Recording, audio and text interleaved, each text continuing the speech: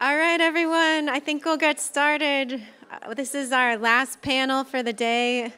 And then after this, we'll have one more short break and then our final keynote of the day.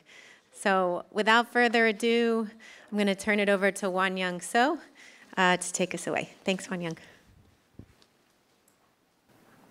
All right, let's get started. So, hi everyone. Um, my name is Wonyoung So. I'm a PhD student at the Department of Urban Studies and Planning at MIT. So it's such an honor to actually moderate the panel titled um, "Evictions, Housing Insecurity, Insecurity, and Technology." So the housing stability is really critical to lower income tenants and communities of color in general. And um, um, one of the you know big determinant of this housing instability is actually evictions. So people who experience um, evictions are disproportionately Black and Latino renters, and particularly Black women, according to prior research. And many of them ended up um, seeking homeless shelters. And um, even after they got a housing vouchers, the housing search process is, is really challenging because of this, all of the tenant data, including the credit scores, eviction record, and criminal records, and compared to the tenant screening algorithms. So I think these stories are actually of housing security are actually, um, I would say, it's a data problem. So their residential and credit histories and criminal record and eviction record are used to create these tenant screening algorithms. So as we saw a lot of different um, technological landscape um, around housing today, um, it's called PropTech, or the one of the panelists, Erin, who will be joining on the Zoom. Um, she coined the term landlord tech. So these data and technologies at least represent and for worse exacerbate um, the cur current power relations or the racialized social systems that we are living in. So to discuss such issues, we invited uh, awesome um, um, housing scholars and activists who are at the intersection of um, housing um, and technology. So I look forward to having the discussion. Um, now each panel will introduce um, themselves using their each uh, three to five minutes. So why don't we just start? So we already have the presentation slides. So let's see who's the first. Is it me?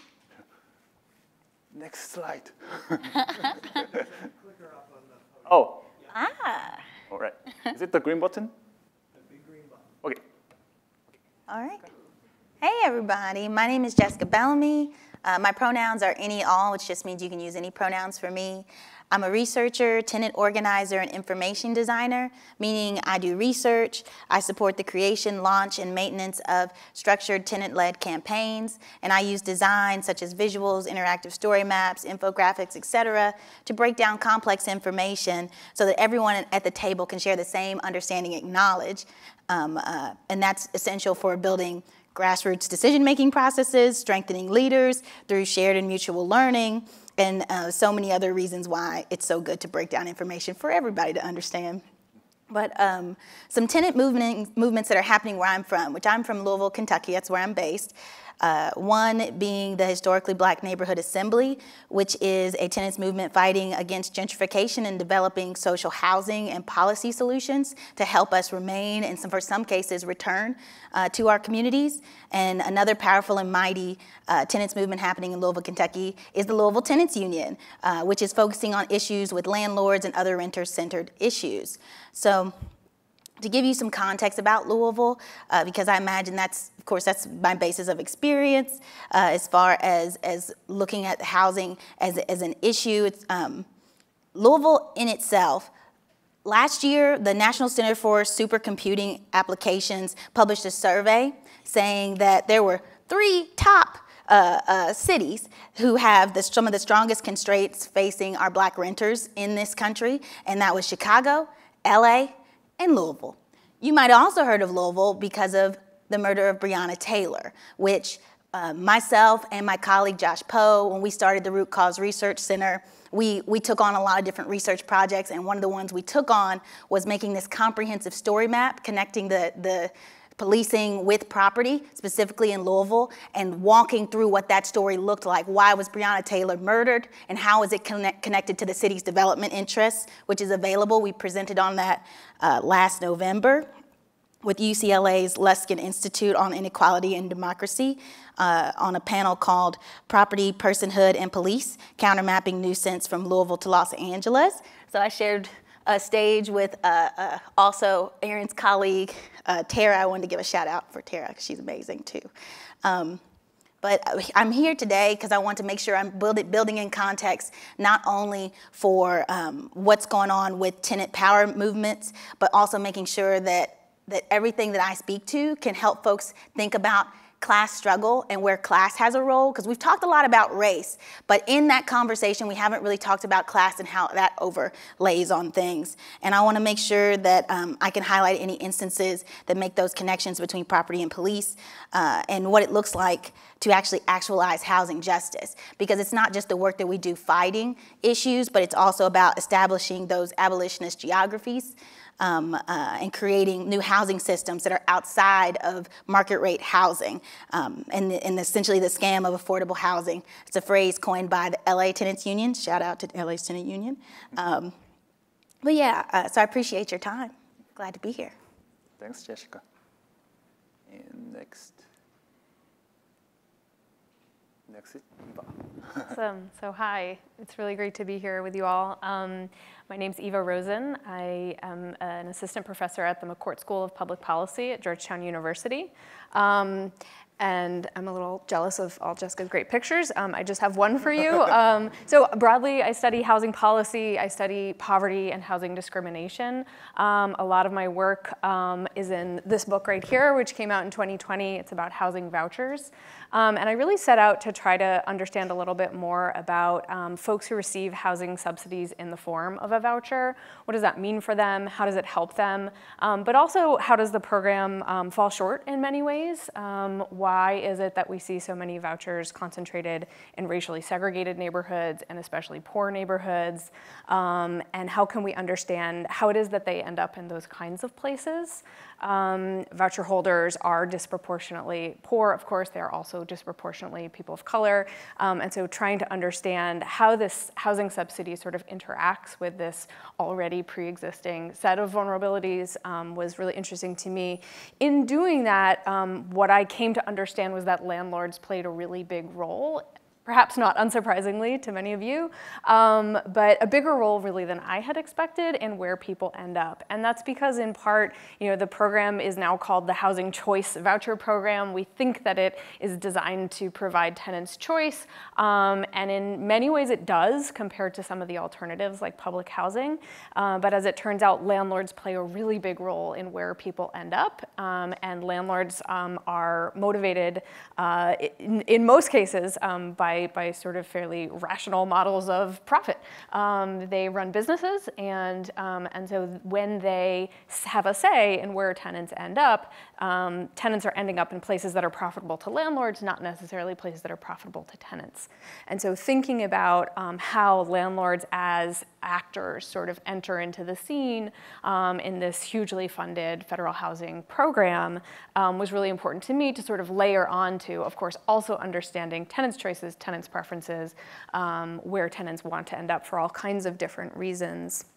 And as I really started to understand what was happening in one city, in Baltimore, so we typically think about um, landlord discrimination as um, trying to uh, keep tenants of color out on the part of landlords or trying to keep voucher holders out. And interestingly, I sort of uncovered a neighborhood where sort of the opposite was happening, at least in terms of vouchers. So this was a neighborhood that turned out to be very profitable for landlords who specialized in vouchers. Um, and so I sort of borrow from Keeanga-Yamahtta Taylor's term predatory inclusion to think about the ways in which landlords in certain contexts and certain neighborhoods are actually pulling voucher holders in and actually making it harder for them to sort of make a, make a full set of choices about where to end up. Um, so from there, I've studied landlords in, in four different cities, um, and I've started to really focus on um, landlords of different sizes, of different backgrounds, those who do and don't rent to voucher holders, to try to get a better sense of um, how they're interacting with tenants, what their approaches to eviction are, um, and also how they screen tenants, so how they actually select tenants in. We talk a lot, uh, we haven't yet today talked a ton about eviction, but I think in public policy we talk a lot about eviction as a big problem. Um, landlords are also making really important decisions on the front end in terms of who they bring in and who they don't bring in, as well as, of course, who they exclude and, and who they evict. Um, and then lastly, I've done a, a, fair bit of work in Washington, D.C., where, of course, I work now um, looking at eviction trends in the city um, and working with the city council council and with local advocacy groups to try to get a better understanding of what's going on in terms of eviction in our in our nation's capital. And I can come back to it, but I think it's there's some really interesting stuff there when it comes to data in terms of um, it being a place that has historically had um, a lot of access to eviction data, um, but not a lot of uh, transparency in, in the ways that I think would actually help. Um, and has, has the, that kind of data access has in many ways been very harmful to low-income tenants of color. So thanks, and it's great to be here. Thanks, Eva. And next, Elora. Hi, my name is Elora Raymond. I'm an assistant professor uh, at the School of City and Regional Planning at Georgia Tech, uh, and I'm very happy to be here. Really enjoyed uh, this day so far So thanks to uh, you all and thanks to the organizers. Um, I run a little planning and property lab, and I think we work on four different research areas. Uh, the first is looking at corporate landlords and uh, large corporate investors and relating um, these sorts of landlords to displacement and dispossession uh, through residential housing systems. Um, I also uh, have some projects on displacement after disasters where we look at evictions after hurricanes and also uh, during the COVID-19 pandemic and try to understand how housing systems and housing institutions can amplify inequality uh, as, you know, during recovery processes. Um, I, uh, we also work on um, an eviction-based uh, sorry, the Southeastern uh, Evictions Data Collective. So we've pulled together different institutions to uh, track evictions in Atlanta, Macon, and Savannah. And we've worked really closely with tenants organizers, legal aid groups, and uh, local government uh, to try and keep people in place and also uh, reduce housing instability, particularly during the pandemic. Um, and then the final bit that we work on is uh, sort of my origin story, where on my mother's side, I'm a Pacific Islander, and uh, we do research on informal land tenure um, and customary land uh, in the South Pacific, um, and also look at gentrification and displacement uh, in you know, places like Los Angeles where you have a lot of migrants um, living. So I think the two projects that we've worked on recently that really relate to this, uh, the topic that we're talking about today, uh, first is a paper that I wrote with Desiree Fields on racialized geographies of housing financialization. And in that paper, um, we talk a bit about racial capitalism and housing. And, and then we venture into the financialization piece where we think about what's going on with um, the data systems that are attached to housing institutions. So you think about finance, it's oftentimes um, a lot of data. um, and there's a couple of concepts that come out of that paper that I think really relate to the evictions data tracker that we built. And one is the idea that um, under capitalism, you don't just find systems that discriminate against people along racial divides. Capitalism is actually a system that creates racial divides and other types of divisions between people. Um, and so that segmentation process that um, at once creates inequality and legitimates it is something that we see time and time again. Um, and then the other aspect that comes out of that paper is uh, the discussion about the way that um, risk is individualized. And so you take systems and institutions that are perpetuating inequality and you legitimize them by creating um, fictions around individual responsibility. So the evictions data tracker that we built uh, was based on code we used to do a paper in 2016. Uh, we were helping our local legal aid group, and they uh, were very interested in understanding more about how evictions data could be used for housing, um, for preventing evictions. And the first thing that you notice about evictions data is that it takes a systemic process, right? In Atlanta, we have, um, in Fulton County, uh, about 200,000 rental units. We have 40,000 eviction filings every year. So that's 20%. And about 6% of those, right, five to six, about one in 20 households, ends up with a completed eviction. Um, and those are spatially unequal. So that's the average rate, but you can imagine it's two to three times higher in given neighborhoods in Atlanta. So eviction, um, people being kicked out of their homes is routine. It's not this rare occurrence. When you look at the evictions data system, there's no indication of this systemic practice or of the institutions and the organizations that are creating this risk. It's individualized. It's, you see the tenant name in each row. It's very easy to identify the tenant and what happened in their case. It is literally impossible to assemble data about the landlords. Mm -hmm. And so what we did was take this tool for individualizing and legitimating housing instability, and we linked it to property data sets to try and understand what the organizations and institutions creating housing instability were. And so we were able to find that there are certain landlords that are associated with very high housing instability in our city. And that's, I think, from a data perspective, um, what's interesting about that tool. The other thing that we do is we try and use this data to empower communities. Um, we're also helping policymakers. We work with the Atlanta Fed. We work with the Atlanta Regional Commission. But we recognize that there's a power structure in housing, and that can't be solved with individualized solutions. And so what we need to do is build community power and lend our resources to groups like Housing Justice League um, and others. So thanks. Thank you, Arlo. Um, maybe the next is Erin. Can you hear me, Erin? Yes, yes. Um, can you see me okay? Yep. All right, okay. Um, yeah, so thank you so much for um, convening this one, Young. Um, I'm Erin McElroy. Um, I'm an assistant professor of American Studies at the University of Texas at Austin. Um, I'm also the co-founder um, of the Anti-Eviction Mapping Project, which is what I'll be talking about today. And I'm, I'm only 10 minutes away from you all. I was hoping to be there in person, but um, and, and flew to, to Cambridge, but um, I woke up feeling sick today, so that's why I'm zooming it. But I hope one day to, to meet everybody in person because it's great to be on the same panel with everybody.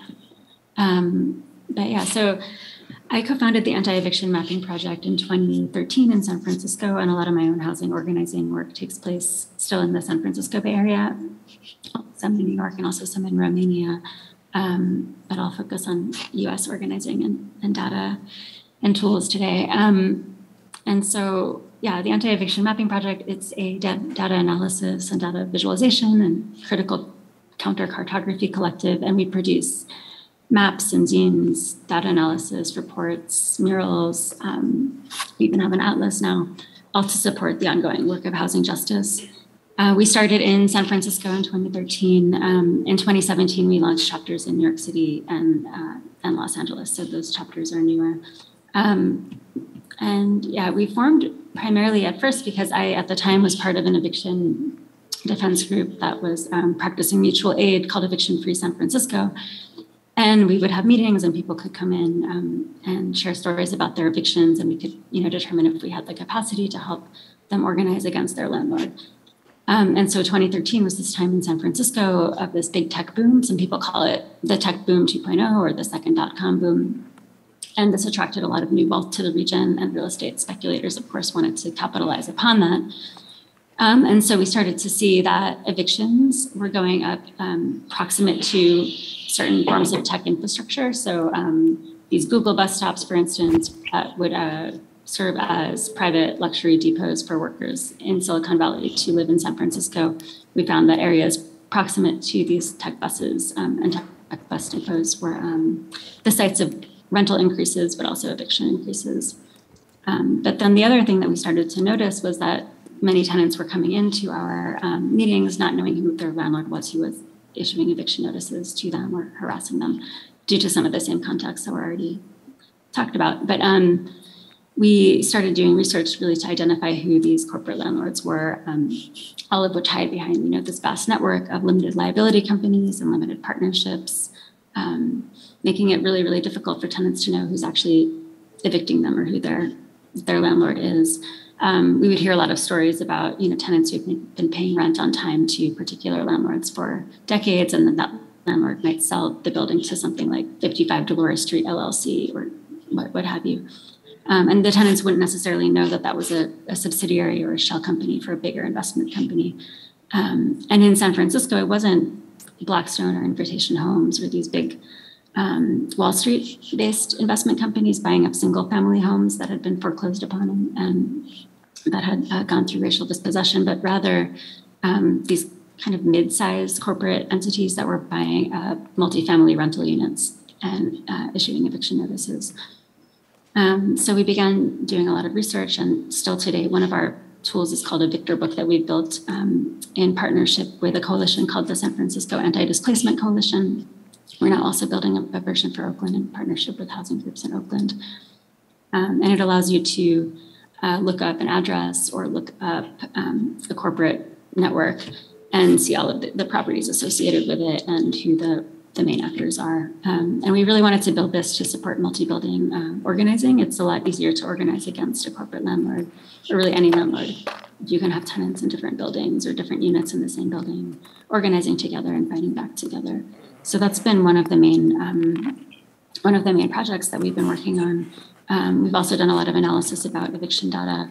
And granted, this is mostly in um, the Bay Area, and New York, and LA, which have um, strong tenant protections, but also you know huge eviction rates um, and very different types of evictions. So um, you know, for instance, during the pandemic, we've noticed an increase of nuisance evictions, which are highly racialized. Um, there are even apps that different cities put out so that neighbors can basically snitch on other neighbors if they consider them a nuisance, and that you know is accompanied by criminalization and new forms of, of surveillance. But landlords themselves um, are increasingly installing facial recognition and biometric uh, cameras in the entrances of different buildings. Um, and this is something that I've worked on with Wonyoung um, for a project called Landlord Tech Watch, where we've been um, studying the different surveillance technologies um, that, that landlords are using and how it seems to be in these various moments of crisis, um, technology uh, is augmented sort of through the logics of, of crisis capitalism. So um, it's, you know, tenant screening itself emerged in the 1970s in California um, and then augmented a lot with different, you know, advances in technology. But then it really skyrocketed after 9 11 um, under the racist auspices of the, the war on terror. Um, and now we see it, you know, rising again, uh, taking advantage of new algorithmic systems and technologies to reproduce systemic racism and uh, systems of carcerality and houselessness. Um, and you know, it's many tenants are today still scared to organize because they know that if they do, that you know their name could end up on a record, which could be used against them in um, trying to access future housing. So, so what we're trying to do is shed light on on what these platforms are, how they operate, and produce popular educational materials um, and public scholarship that can be used in different uh, coalitions and networks committed to housing justice to to uh, promote tenants in understanding um, who is who is surveilling them and who is evicting them. And it's you know it's ironic that today tenants don't even know the names of their landlords, where landlords know so much about tenants through these increased means of data production um, and data grabbing. So that's that's what I'm up to, um, and I will leave it at that for now. I'm happy to get more into all of this in conversation. Thanks, Erin. Um, yeah, so maybe let's start um, by discussing the eviction first and the eviction data.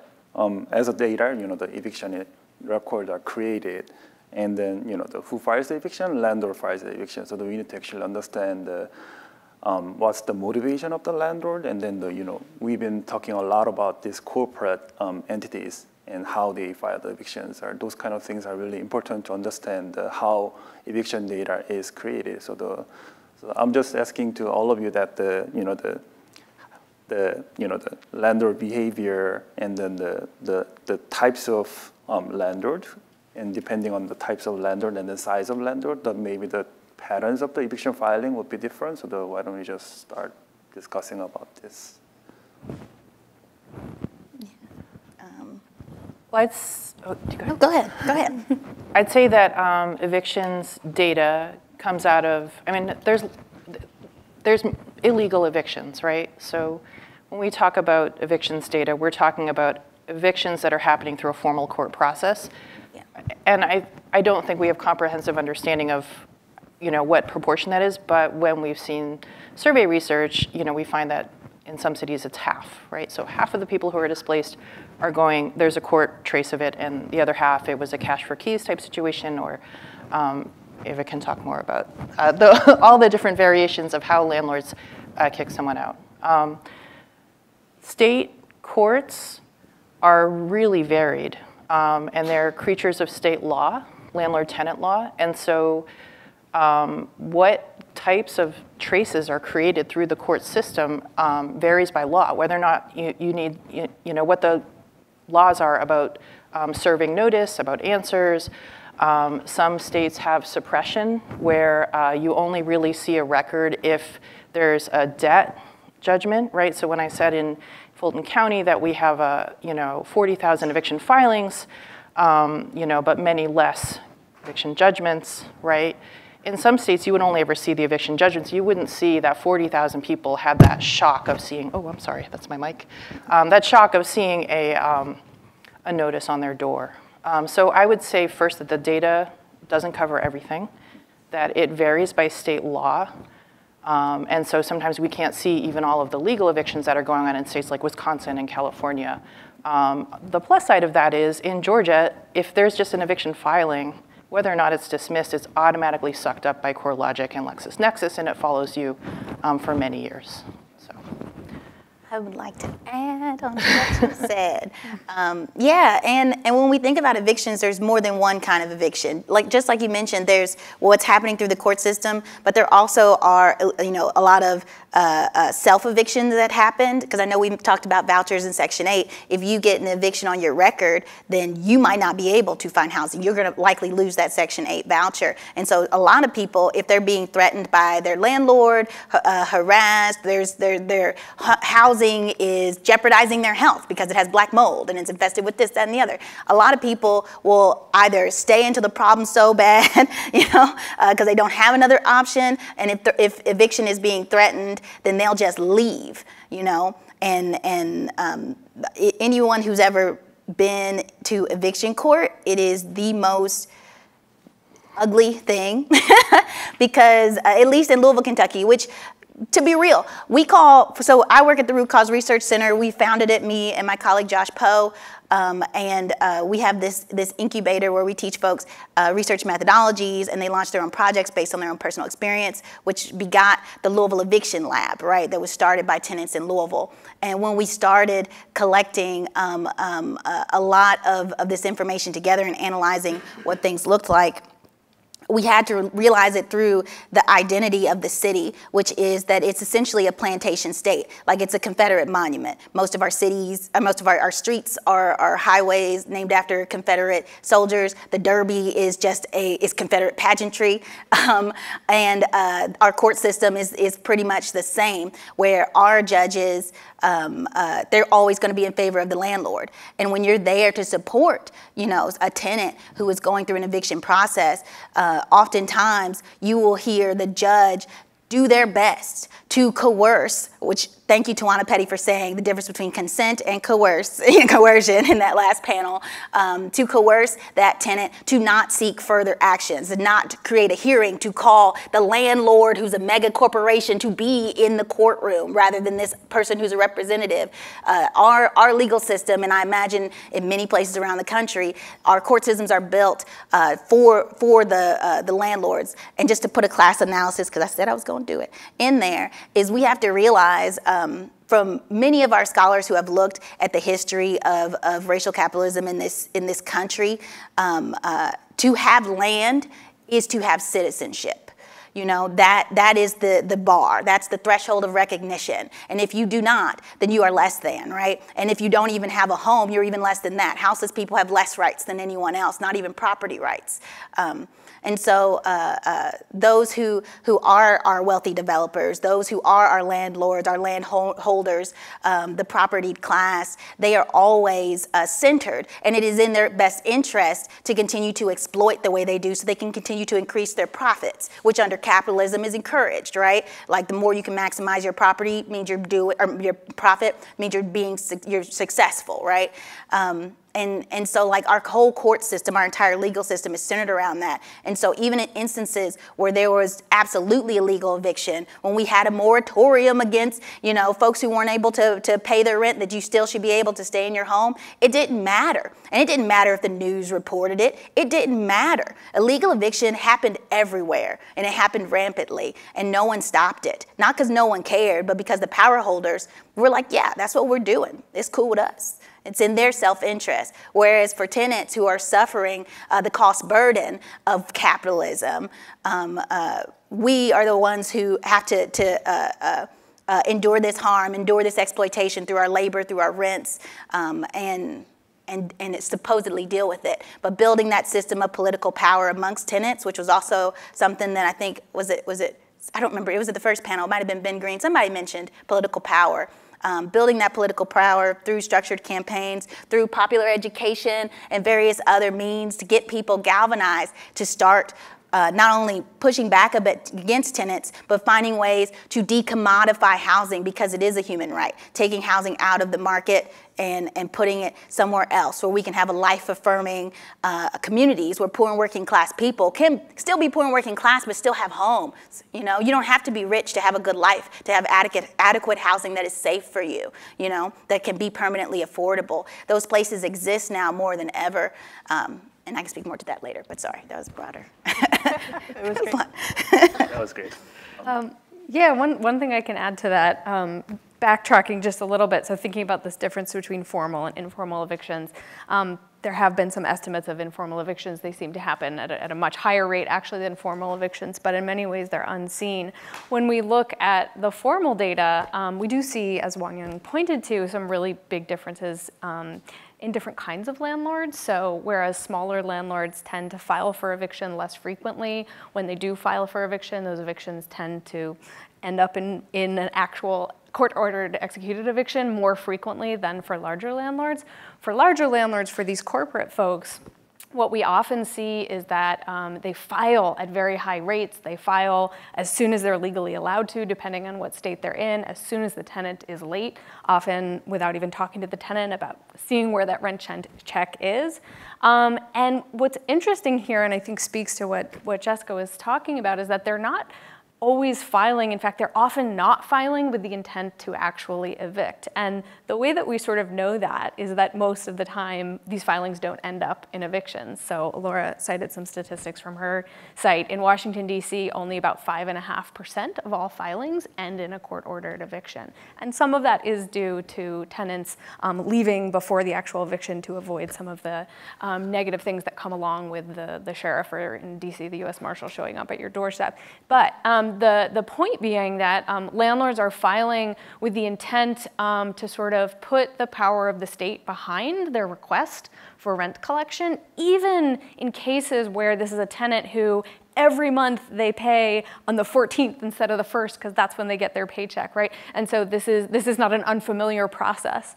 Um, and so to, to another one of Elora's points, when you look at the data, you see all of these individuals, um, but in addition to aggregating by landlord, you can aggregate by tenant. So tenants are frequently receiving multiple eviction filings per year for the same unit. If you're receiving mm -hmm. multiple eviction filings per year in the same unit, you're not getting removed from that home. Why? Because you're probably paying. You're just paying late. And so when landlords file on tenants in this way, this is what we call serial filing, they're sort of, they're, they're A, as I said, they're sort of putting the, the power of the state, the power of the courtroom and the judge behind that request for rent collection. They're allowing the tenant to go seek aid at a local charity, at a church, right, to get emergency rental assistance, to get a payday loan, as we were talking about in the previous panel. But they're also changing the power dynamic between themselves and the tenant. So they now have something over the tenant. If that tenant is doing something the landlord doesn't like, the landlord has that threat of eviction in their back pocket. Um, and so this, this filing um, really isn't just about getting the tenant kicked out. And in our interviews with landlords, what we learned is that it's, it's really costly for landlords to have turnover in their units. They actually don't want turnover. They actually don't want to evict tenants. Um, but they do want to have some control over their tenants and they do want their rent to be paid. And so filing for eviction, even when they know that rent is on its way, is a way of sort of changing that power dynamic in, in ways that are really consequential for tenants. So one of the interesting things we see in Atlanta is that there are patterns of high serial filing versus um, removing, you know, evictions with the intention of removing. One of the research studies we did, we looked at whether um, there was an eviction spike following a large corporate investor purchase of an apartment building. And what we found was that um, there's a much higher odds of an eviction spike in the year after a large corporate investor purchased relative to a neighboring census tract that didn't have um, that sort of eviction, but there was no corresponding increase in filings. Um, so what really spiked was the number of um, eviction judgments, meaning evictions where they followed through to the end with the intent to displace. Um, the other interesting kind of discrepancy between kind of eviction, serial eviction activity and like evictions with the intention to obtain the legal right to remove a tenant um, is after the pandemic, we started tracking the rate of serial filings uh, in each county. And we found that once landlords, this is me interpreting, I haven't gone through our interviews yet, but um, once um, tenants lost the ability to pay because so many people lost their jobs, the rate of serial filing in Atlanta fell by 10%. And so a lot of people said, what's going on? Eviction filings have fallen, but some of that volume was never intended to displace. It was only intended to leverage the ability to get tenants to pay. Um, and so, hypothesis, when landlords knew that tenants couldn't pay, they didn't bother with the serial filing. Um, Do you want to add, um, Erin, anything about, since you are done um, amazing work about the Evictorbook, so the, basically you can identify some you know, relationship between the corporate landlords and then the eviction patterns? Sure, absolutely. Um, and yeah, it's important to note too. So in California, um, there's a state masking law that prevents um, eviction filing at the county court level, um, all of that data can't be accessed um, to prevent tenants from um, the tenant screening industry. Of course, companies like American Information Research Services still kind of scrape court websites and produce a sort of lower count of um, evictions than actually occur because of their scraping methods being uh, flawed and, and, data being hard to access. Um, but in cities in California that have rent control um, and that have uh, rent boards. Um, so cities that have you know renter majority, um, uh, well, cities that are renter majority, and many of them have had uh, rent control through tenant struggles that were fought in the um, in the 70s, late 70s, and early 80s. Cities like San Francisco and Santa Monica, LA, Oakland, et cetera, have rent boards. And so we're able to get petition data from those rent boards through record requests and um, so that doesn't show the outcome of eviction. So that doesn't show if it amounted to an unlawful detainer or if the sheriff came, um, but we can see the intent um, or the type of eviction um, that's being issued. And so, you know, there are two general categories of evictions, um, fault and no fault evictions. Um, there are two types, or well, three types of no fault evictions in San Francisco um, or in California. one is called the Ellis Act, and that was a, a piece of statewide legislation that was written in 1985 um, after the city of Santa Monica gained uh, rent control through tenant organizing. Um, and so what happened was this um, young trust fund kid, Jerome Nash, inherited a building full of renters and he wanted to just evict them. Um, he didn't want to be a landlord. Um, but because of the tenant protections that were gained uh, when rent control was gained, he couldn't just evict them for no fault of their own. So um, he befriended a senator, uh, Jim Ellis, and they crafted this, this piece of legislation called the Ellis Act, uh, which allows landlords to evict tenants for no fault of their own. Um, and so that was written in 85. It didn't get used um, in mass until the late 90s with the dot com boom, and then again with the tech boom 2.0. There are also owner move in evictions when owners claim that they're going to move back into units. Uh, we saw in, in data from 19, the late 1990s, owners would claim to be moving into multiple units at the same time when they couldn't physically be doing that. So they were just using that to sort of bypass um, other other forms of um, eviction or having to go through them. Um, and then there are demolitions when when uh, building use changes, and often our buildings are demolished or, or something changes drastic enough that it's considered a demolition. But in all of these cases, tenants have more time to fight back. Um, they might have 30 days or 60 days, depending on the type, if it's no fault. Um, and no fault evictions will target often multi unit um, rent controlled buildings because the premise is that if you if you evict tenants um, for no fault of their own through a no, no fault type of eviction, you have to evict all the units in that building and then you can't re rent. But if you're an investment company that has a zillion different shell companies, each of those could individually evict a whole building. And as long as, again, 55 Dolores Street LLC doesn't re rent um, elsewhere, that's okay. So there, this is all just to say that landlords are always finding ways to bypass different tenant protections after they're written. Um, so tenants are always organizing against these types of no fault evictions, and often there's more sympathy from press and media uh, for no fault evictions and, and, definitely less for fault evictions uh, like three day notices to pay or quit which are the most common type of evictions. And, and as was already said many don't actually amount to physical displacement. Um, but there are also nuisance evictions which i mentioned earlier. Um, and so there was you know in the in covid during covid there was of course an eviction moratorium. There are many. There are over 200 different moratoria in California. If you look at all the cities and counties, all functioning differently. But um, and then the statewide and, and, the federal. But most of the local ordinances um, banned most types of evictions except for often nuisance evictions. So we saw then um, a, a, spike of those being used as landlords realized that was strategic. Um, and so I guess what I'm getting at here is that there are different waves and trends of what types of evictions are being used, often depending on what policies are in place or what protections are in place as a way to bypass them. Um, and then, yeah, lastly, I would say that um, what we've been noticing with new surveillance technology being deployed um, in buildings, you know, cameras on building entrances, basically making tenants scan their faces to enter their buildings, those are often being um, sold to landlords. Uh, under the guise of, of technology useful in um, detecting uh, lease violations, particularly illegal subletting. So there's a big market for you know this technology now. You can if you surveil who's going in and out of a unit, you can tell if it's actually who's on the lease. Um, and so this is a new trend that we're seeing emerge. Um, but I'm, I'm talking just about California and some New York City um, data and, and instances here. I wouldn't say that this is happening across the US at the same rate by any means. Yeah. You want to add? Yeah. I want to add, definitely. Yeah, I totally agree, Erin. This is happening um, a lot of different places from like just just thinking about the way nuisance ordinances are used and property tax expanding the, the carceral design of buildings and neighborhoods, right, for containment, for observation, um, uh, but the nuisance ordinance specifically, I just want to reference Louisville because um, uh, for folks that might not be familiar with nuisance ordinance, it's essentially if the police get called to your house, something could happen next, right?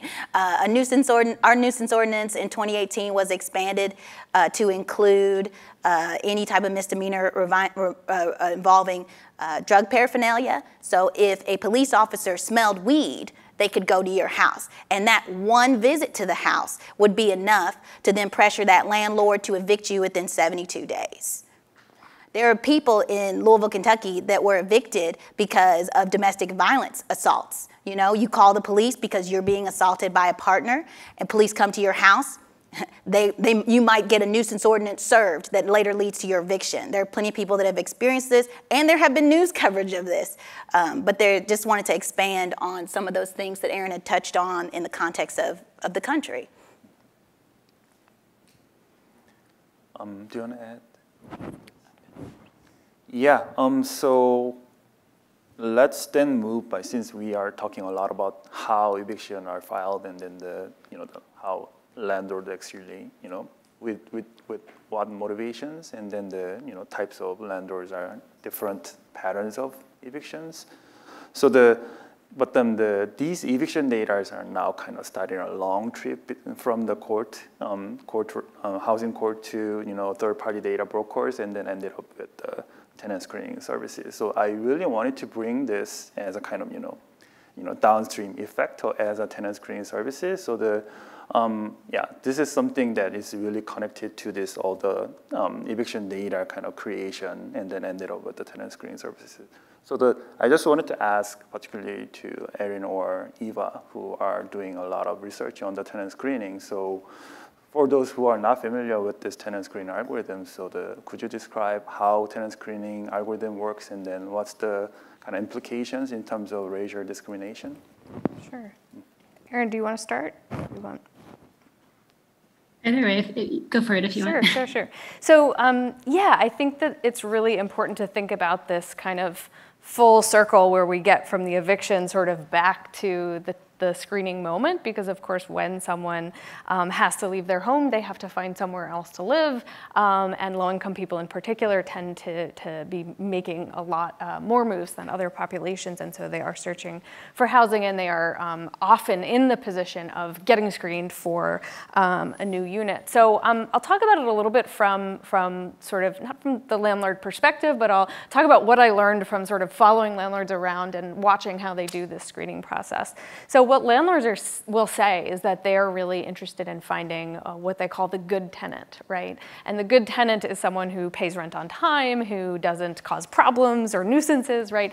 who, um, who's sort of easy to manage and deal with. Um, but of course, um, these characteristics are sort of completely unobservable to the landlord from the get-go. I mean, arguably, um, these are sort of hard to predict even in the abstract, but certainly um, they're, they're hard to know from the pieces of information that the tenant gives you. So what we find is that with our smaller landlords, they tend to rely on, on what they call gut checks. So they're sort of drawing on um, uh, often very stereotypical notions of, um, of their tenants, so um, class, race, um, uh, motherhood, right, how all of these things intersect. So they do things like home visits of, um, of tenants' current, current homes um, to see how well they keep the home. They do things like uh, smell tests where they actually check to see how well the kids are groomed. Um, and, uh, and the sort of intersection of race, class, and gender here is, is really, really um, apparent.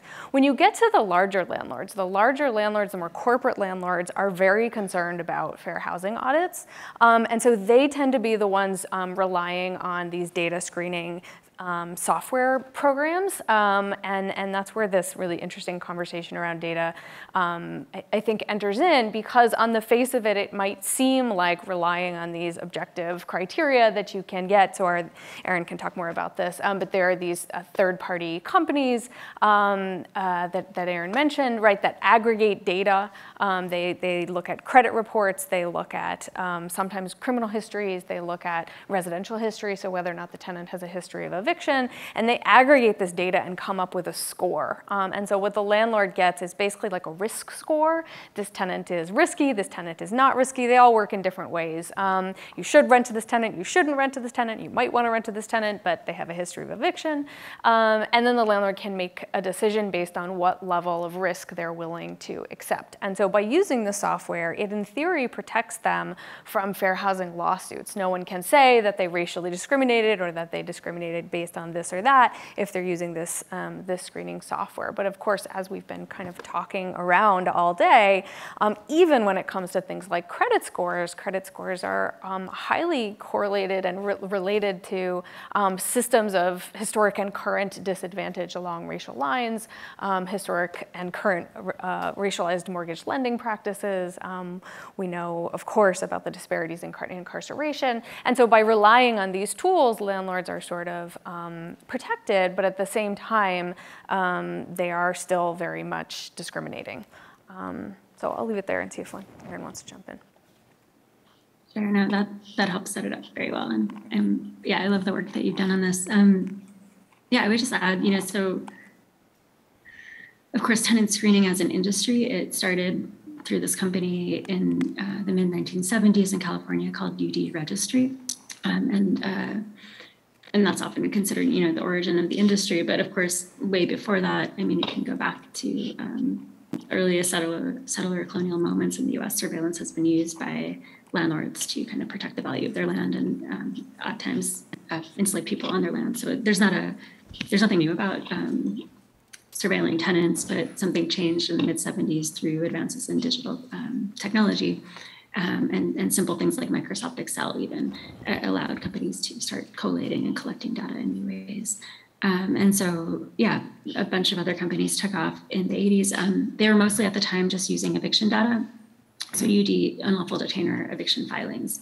Um, and like I said, uh, you know, then with uh, credit uh, screening becoming a bigger industry, and that, of course, also augmented after 9 11, um, we started to see uh, tenant screening companies weave together uh, eviction histories, criminal record data, um, and uh, credit data.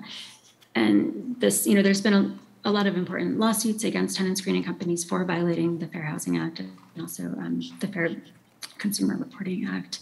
Um, one of the interesting things is I think that lawyers who litigate against these companies might be trained either in housing law or consumer law, but often not both, and there are different ways to sort of attack them through both.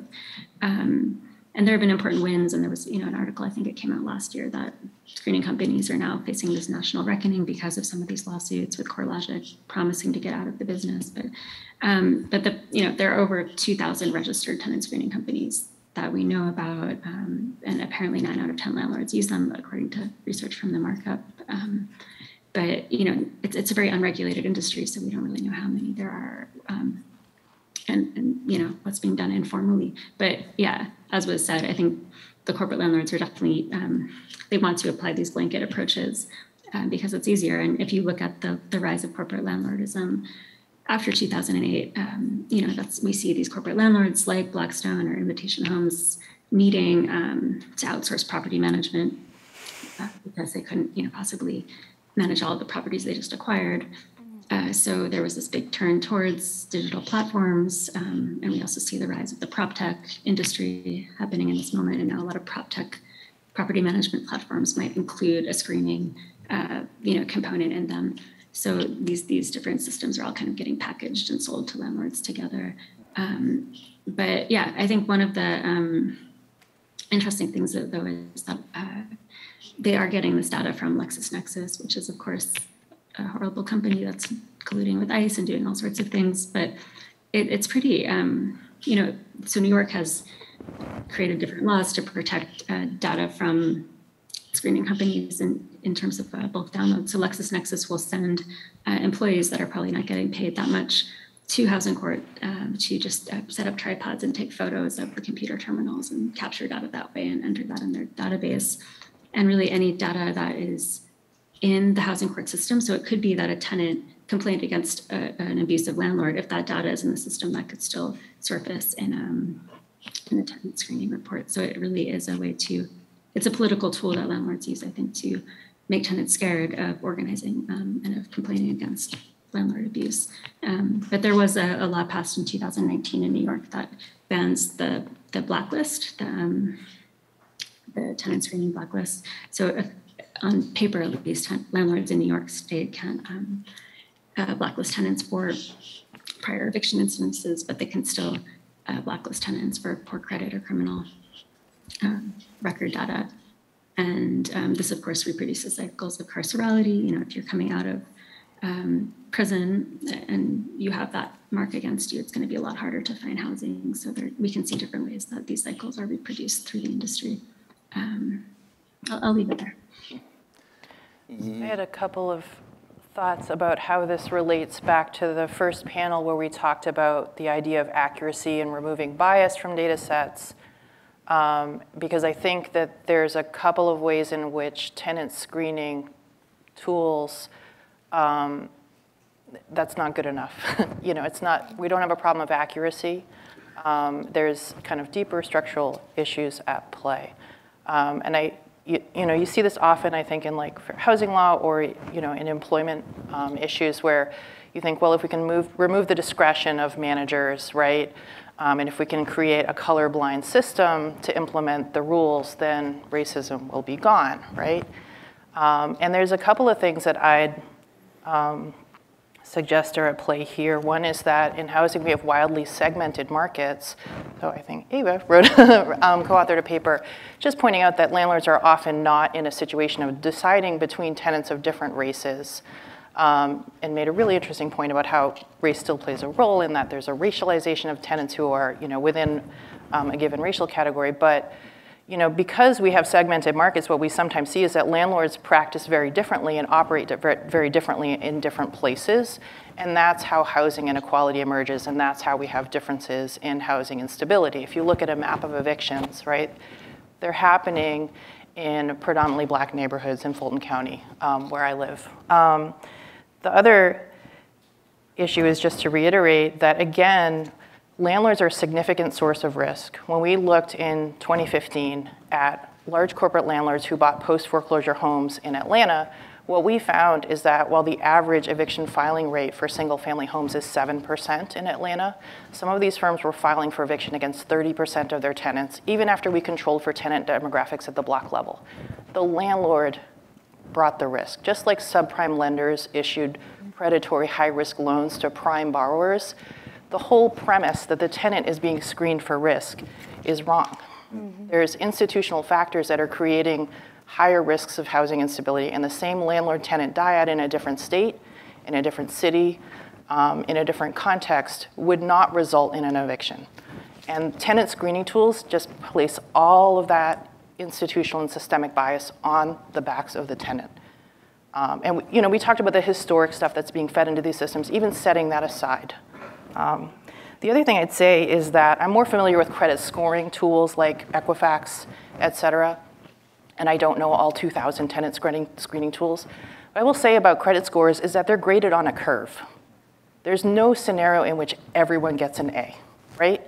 If everybody makes another on-time payment, we don't all get a higher credit score. They don't drift up, upwards over time or downwards during a crisis. They always have that same shape. And that means that this is a tool for differentially subordinating people and allocating housing to some but not others. Mm-hmm. It's not a tool in which everyone can have access to shelter. Mm-hmm. And that's when you trace back the legacy of where these came from, from life insurance tools when you know, it was ruled that you had to include non-white customers and they started to say, okay, let's create all these scores and let's figure out the pricing.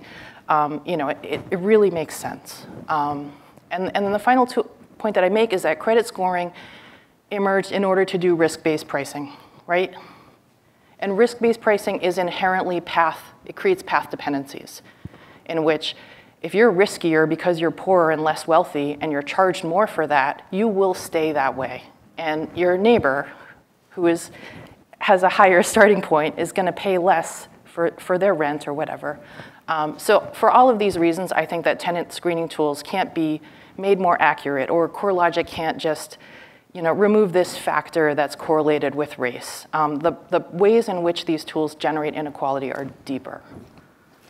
Yeah. So I want to apologize because we went into our question time, but uh, what you all are saying is so important, these last couple points especially. Thank you. Um, really powerful, and I'm glad that we made those points. Um, I want to say we have maybe time for one question.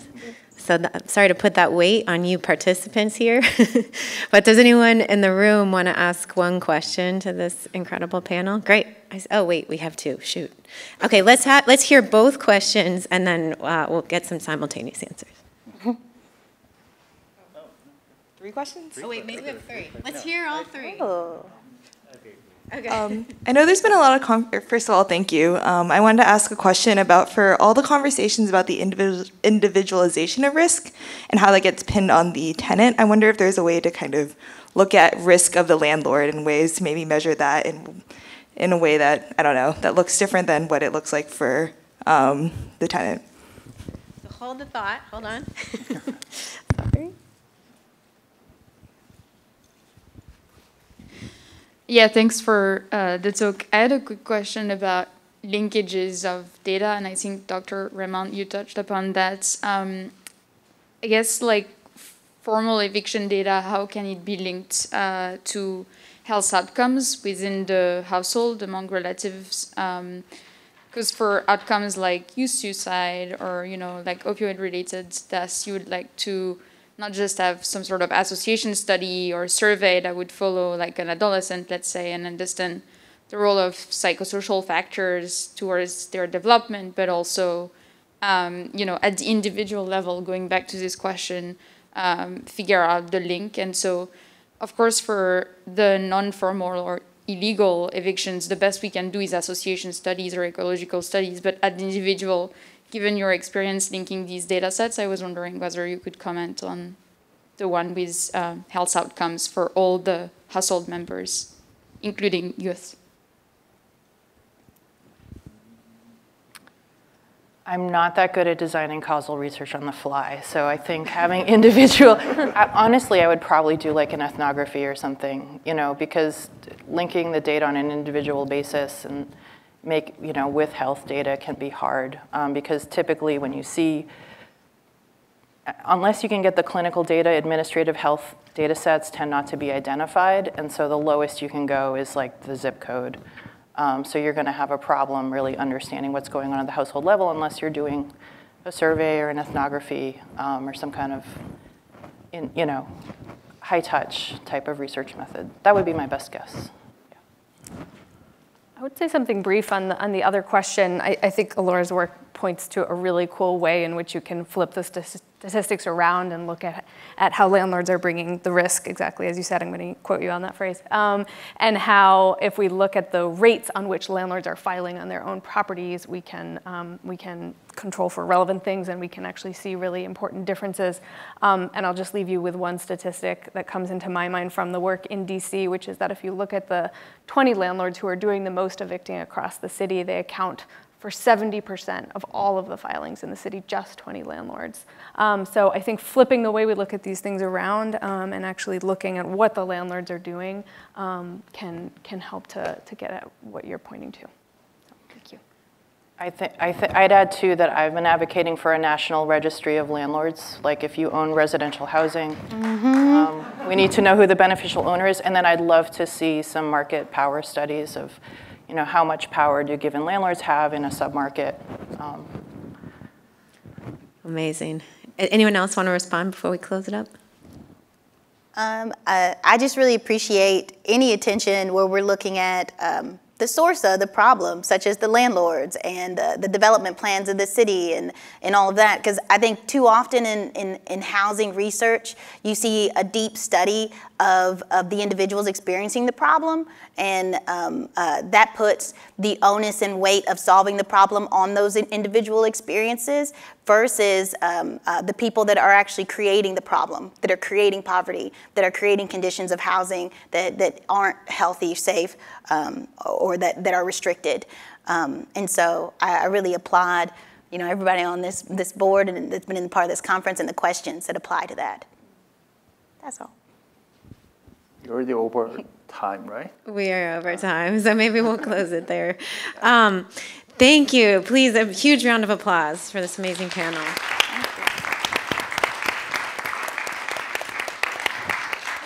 And so, y'all, we have our last uh, coffee break. So please take the next, I think we might only have like 10 minutes or something. Um, grab coffee and a snack. Um, and we're coming back to hear our last keynote talk. Um, by the UN Special Rapporteur on the human right to housing. So it's going to be really amazing. Um, and we have a special closing activity uh, planned as well. So I'm not even going to say what it is yet. but stay tuned and, and come back after the break, and we'll see you soon.